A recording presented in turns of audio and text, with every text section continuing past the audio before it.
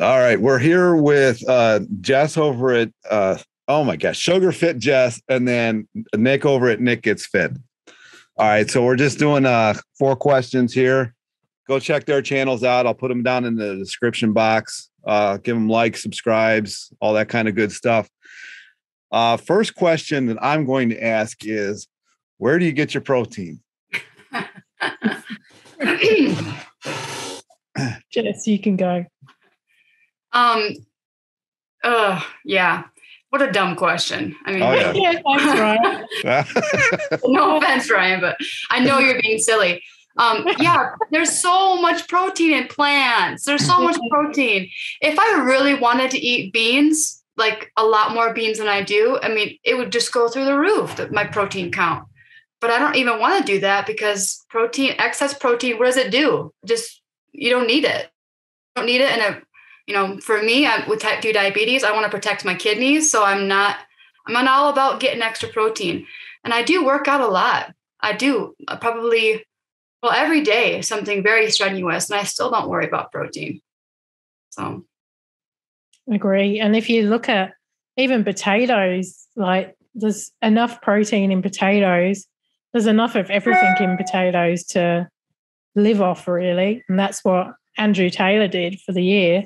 Um, and yeah, I mean, protein, it really annoys me when they say, Where do you get your protein? And I get that asked. I got that asked a few weeks ago at a friend's house, and it's almost like you want to laugh at that question. It's like, you don't need that much protein. Um, and, you know, no one ever died of and not enough protein. You know, that's just, yeah. But again, uh, people aren't educated. So unfortunately, that question still gets asked. And, you know, people still today think they need, you know, protein, especially in animals, um, to actually live, which is rubbish, you know.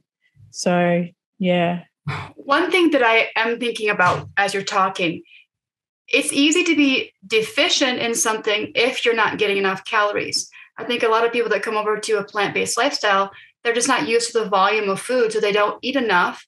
And then, yeah, you can be deficient in a lot of things. If you're only eating 1500 calories, for my body, my size, I need a- at least 2500 calories. And, and right about there is when all like on my Cronometer they're all green everything is green meaning it was it's filled in and I'm, i have enough of all the vitamins and nutrients that i need yeah. Uh, I mean, yeah. I Yeah, was I mean, going I, to say about Greg McGregor, Gregor, oh, McGregor, that McGregor. I always do think it's McGregor myself. Yeah, it's I, I actually I made a video about him, and I the first Google, but it's yeah not the the first the first title that I put in had McGregor on there. I'm like, that doesn't look right. he wishes he was a muck. Hey? yeah. Um, I guess I'll go. You know, it just the, the reason I got into vegan is because I used to eat so much protein, I basically destroyed my kidneys and my liver function. So I, stay as far away from it as, as humanly possible. And even when I was, I was, I lifted in vegan. I, I mean, I still could. I mean, I didn't lift heavy, heavy. I, I probably, I think the heaviest I did was like maybe a 500 pound squat, maybe like a 600 pound deadlift, and I wasn't really eating that much protein. You know, I might have had to increase uh, it to to really keep up with the weightlifting, but I didn't want to go much above those weights anyway. But yeah, I just um, I don't understand the question honestly, because if you look at the FDA, that the daily recommended allowance, I think is 55 grams, and people think you need like 300 grams of it for some reason. Mm. I went to this keto page the other day. Um, I don't know why, um, but I did. I checked it out because the guy always comments on my channel. So I was going to comment on his channel just to be nice. Um, and then I saw someone comment on his channel that they had 30 grams of carbs for the day. Wow. I was like, painful. I can't. And I, I got really nervous and I got out of that channel because I'm like, I can't be here. This is ridiculous. Isn't you know, I I can't do it. Like, I really can't. And sorry, you know, you just yeah. But when I saw that, I was like, no. But yeah, they, that's all they eat is protein, isn't it? And fat. Yeah. Yeah. You know, it's kind of funny because some of my trolls, you know, one day they're telling me I got to eat protein. So then if I talk about protein in another video, they're like, no, you really need fat. I'm like, you know, and and they make up different diets every every every time they comment. I'm like, you guys have no idea what you're talking about. It, it's mm-hmm. comical. We all know who you're talking about. No, it's more than one. Like I get a lot of these keto people now. It's it's you know, and they they change their stories every time. You're planting the seed in their mind. Yeah. Hopefully so. they get the message because I mean I'm I'm 11 years in and still having to get rid of the uh, destruction I did to to my organs. Mm-hmm. That's terrible. Go on, fire the next question. All right. What are your thoughts on sugar? Should he take it 500, 800 grams a day? What should you do? So I guess my viewpoint has changed a lot over the last few weeks. And I used to have quite a bit in my smoothies, sugar water. But because of my weight at the moment and going up and up, there's I've been speaking to quite a few people on my channel, and they all say to me, unless you're doing a lot of exercise, um, then to probably, I don't know, to cut back on that. I mean, I do think sugar is an important part of, you know, making you feel good. And, you know, I'm definitely not a sugar phobe and I don't want to be. Mm. I also think, you know, it's a lot of energy if you're not using it all. Um, so I would say slowly introduce it until your body's ready. Um, or at least when you're at goal weight and you know the sugar water wouldn't be as bad because your body is at the weight it needs to be. Um, so my opinion is probably I think the obviously the brain does run on sugar, but you can get sugar from plants. Um, and if you can do that first, then go ahead. But obviously, if your smoothie is not sweet enough, um, putting a bit of sugar in isn't going to hurt. It's just going to make you enjoy it more. But mm-hmm. um, yeah, I'm definitely I I the 500 grams or 800 grams or whatever I was you know mentioned to try and do. I just yeah, the weight just kept going up and up, and I found it really hard to drink that much sugar. But saying that, I must admit, when I did have it, I did sleep so well. So, you know, but I could have like a couple of tablespoons before bed now, maybe, and try that and see if that helps. Um, but yeah, I think you just got to be careful because it's still energy. If you can get your energy from food first and then add as a supplement rather than using it as, you know, a source of food, which I have been doing, I guess, because I'll be having that and then a breakfast. So rather than using it as a supplement, I've been using it as a main source. So that's that's my opinion anyway. For me, like, well, I'm type 2 diabetic, so I've always been told that sugar is the enemy. And when I started adding sugar, is when I started seeing my blood sugars drop into normal range. So I don't go nuts with it, but um, I noticed when I would put 100 grams of sugar into my smoothie in the morning, I would have normal blood sugars within an hour, hour and a half. And before that, it was taking several hours for my sugars to go back to normal. Dr. McDougall has said that sugars help sugar, even white table sugar, helps insulin work better. And I found that for myself for sure. That being said, I don't I don't see myself ever doing 500, 800 grams. I don't think that's necessary but I do add sugar when I go on my long hikes because I I was having trouble. I'd be on this long hike in the middle of the mountains and have I would totally bonk and not have enough energy to get back. So I think uh, in a combination a combination of upping my calories just from real food, but also having sugar available has helped me to remain, you know, having enough energy. So I'm not afraid of sugar. I'm really not, and I've actually seen it be a useful tool for my diabetes. That's awesome, actually. Yeah. Um, yeah. You know, honestly, I used to add uh, use about two to three, even four pounds of it a week when I was doing a, a bunch of cycling. Uh, uh, one of the biggest reasons was is I used to keep dates with me, but the bees will hunt you down if you've got dates, a lot of dates on you. They will they'll they'll actually start chasing you. because I was I mean because I was riding out in cow country, you know, there's nothing there, and there was a lot of bees because there's a lot of farms and stuff, and they will come after you. So I started just keeping sugar in a container, and I didn't have I didn't have as many issues, and it's a lot easier to kind of control how much you're eating. And dates are, are like you know what fifteen dollars a pound or something like that, so it's a whole lot cheaper than uh, than dates. I'm not.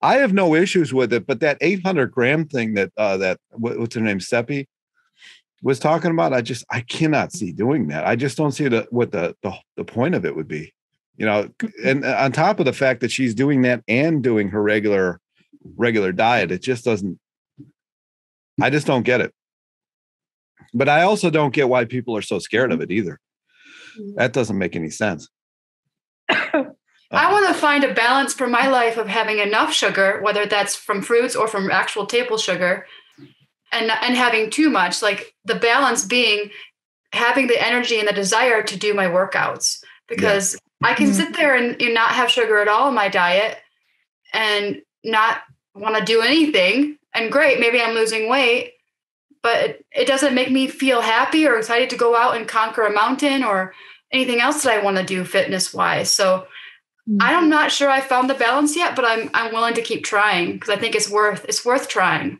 you know.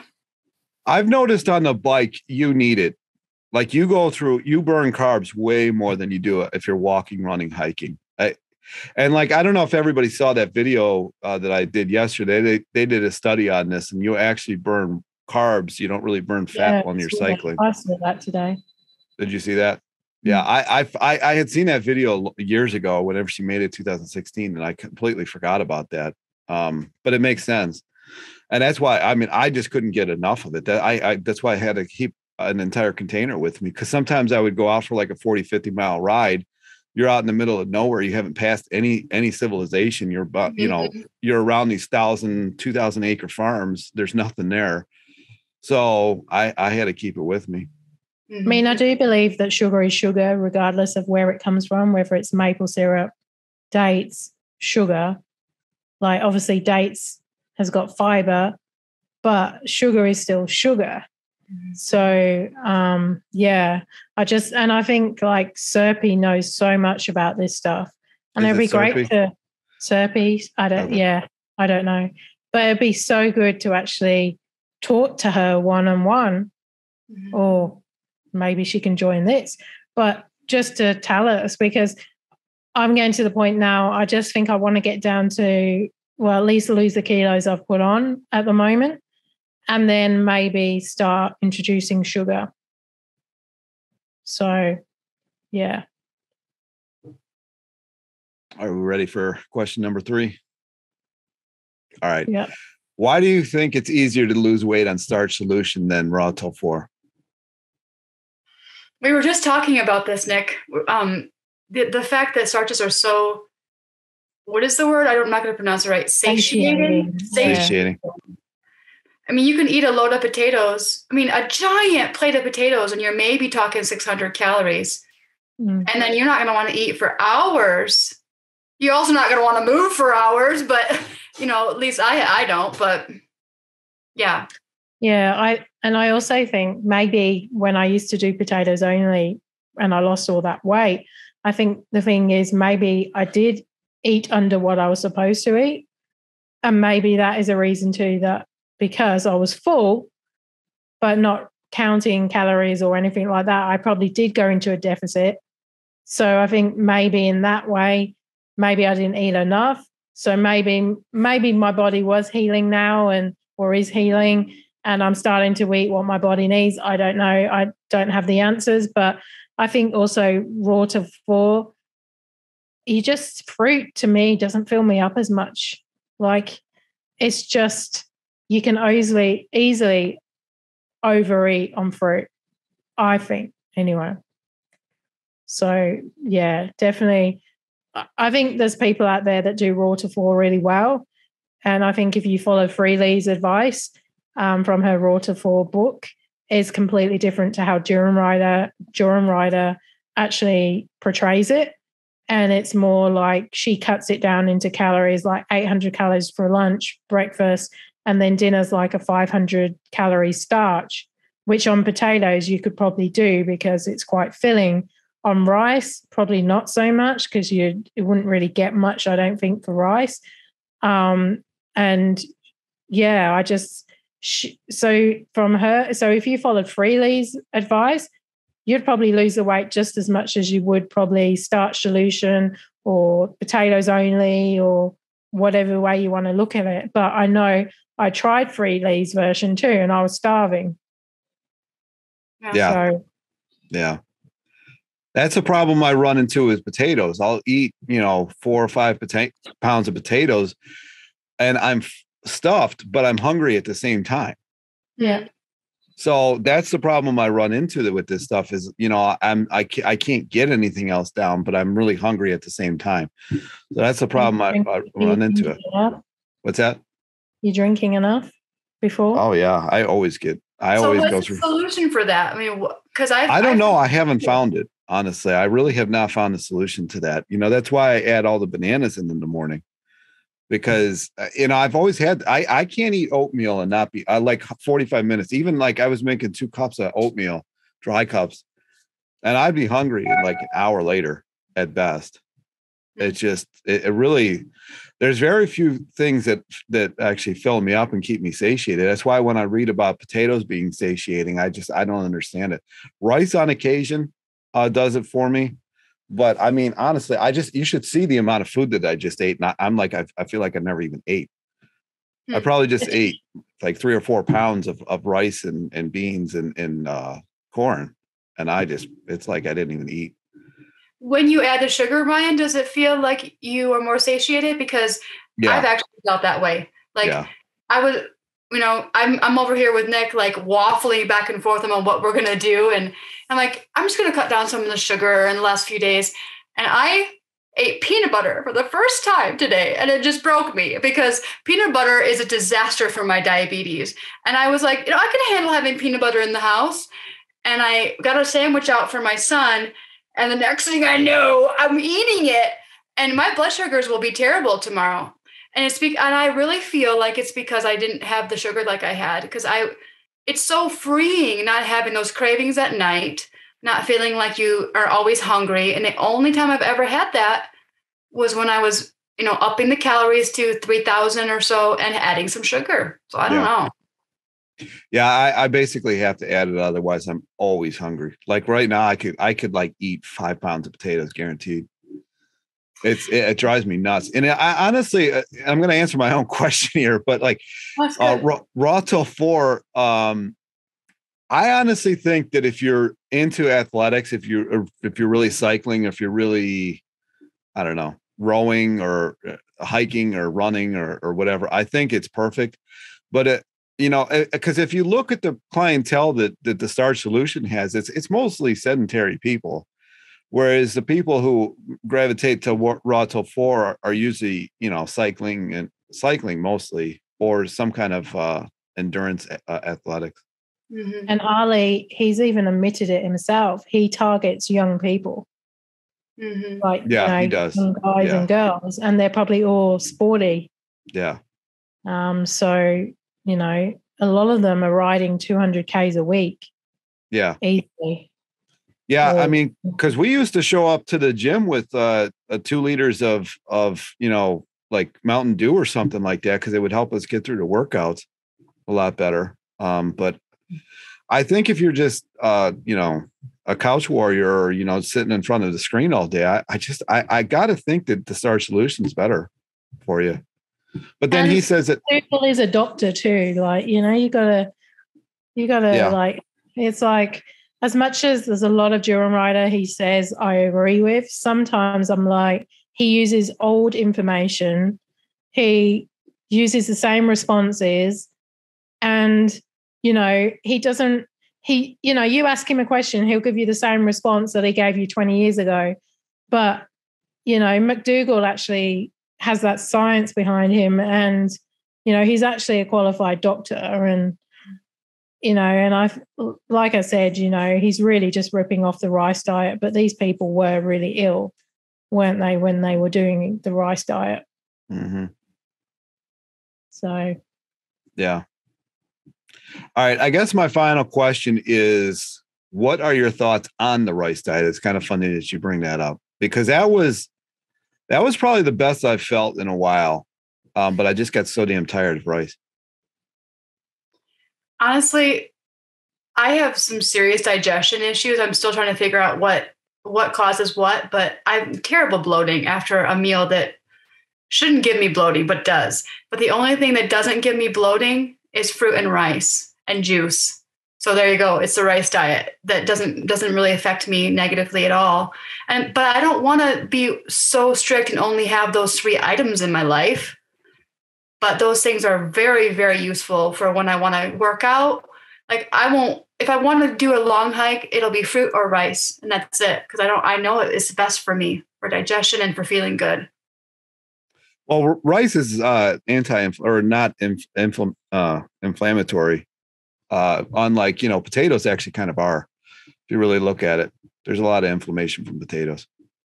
I don't so know might have I, something to do with it. I like the rice diet but i also found that i had to use so much soy sauce. Mm. and you know actually um, pauline from sugar made me lean said to actually get the soy sauce and dilute it with water first. Um, so i guess that could be an option but yeah, I was smashing the um, soy sauce, and I just found that I was quite hungry all the time.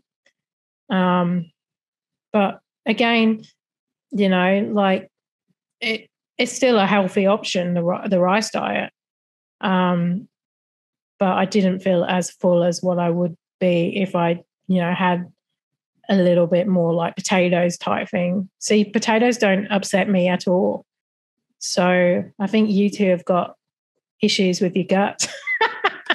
uh, we might have. Uh, I think I have an issue with nightshades because I know my mom actually does. She's actually been tested for it, and she can't eat eggplant, onion, uh, and a couple other things, and that they're all in that nightshade family. But isn't that like inflammation in your joints and stuff versus inflammation in your no, gut? No, it's just uh, it radiates out Everywhere. of the gut. And, yeah, I do find though nutritional yeast um, upsets me quite a bit. Hmm. So yeah, I mean it is. I've never heard but- that one before. Mm, I've heard regular yeast, but not nutritional yeast. I guess maybe they're in the same family. yeah. So yeah. All right. So my thought was that's actually the best I've felt this in a long time was on the rice diet. It really was. Uh, but you know, like again, that that satiating thing. I had to eat uh, like four cups dry, five cups dry in one sitting to be fine, which is a lot, and it takes forever. So I I, I don't know. I, I I don't know. I'm I'm toying with either doing uh fully raw or just the rice diet again uh coming up here in March. But I don't know. We could just we could just make our own diet up between the three of us and sell it on and yeah. Yeah. the Yeah. new raw till four. Yeah. Yeah. Raw after four. Yeah. and make a ton of money. Yeah. Yeah. I don't know. I I actually never did the raw till four and I didn't even really know what it was. I, I kind of just did it by myself just because it was easier to do it that way. And it worked really well for me. But I didn't I didn't follow any of their calorie guidelines. I didn't know that they were a thing until I saw a high carb Hannah complaining about it. And I'm like, what? I, I didn't read, you know, I didn't read the rules. Did No. you um don't you find though when you have avocado or something like that, you're a lot more satiated, like fuller? Like when you used to do avocados? I did, but endurance wise, it, it really kills the endurance. Mm. Like really kills the like you really notice it the next day. Mhm. Even half an avocado. Yeah, I mean you really notice it. I, you know, because I I- you know I used to live in eastern Pennsylvania, which is a lot of hills, and I would I could fly up a hill, and then if I had avocado that night, I could barely get up that same hill the next day. For me, it's I'm I'm almost grateful for my type 2 diabetes because it gives me immediate um what's the word? Feedback, immediate feedback. Because if I eat even a quarter of an avocado, my sugars are messed up for a week. So that keeps me going on the right path for other parts of my health. So I guess I'm grateful for that I, yeah, I could not do avocado like that or peanut butter. All right. Well, I guess that's it for that's my four questions. I made them up. That happened. Um Wow. so uh, go check everybody uh, check their, them out, check their channels out, give us all likes, subscribes. Well, they'll they'll go up at some point in in the week. So look out for them. Uh and talk to you next time. Like, subscribe, comments, questions down below. And that's it.